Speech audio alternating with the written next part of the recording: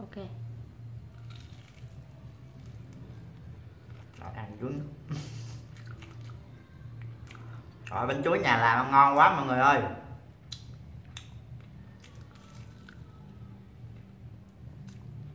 Cái này chiên còn bột gì vậy hai?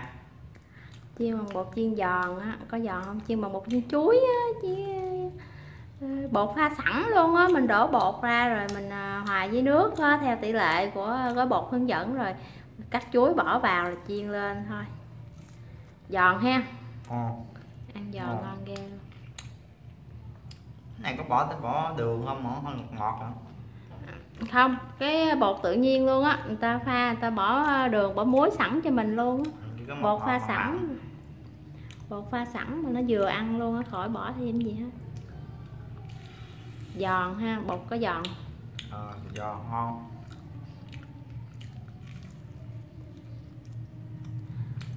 chiên à, bốn trái chuối bốn trái chuối được dẻ đó đó. Mấy cái? Có đếm không? Không không có đếm chắc được mười mấy cái vậy đó. Mười mấy cái khoảng vậy hơn chục cái bốn trái chuối. Một. 10 trái nha. Một bịch bột bốn trái chuối. 10 cái. Ăn hết luôn cũng được á ăn hết luôn đi.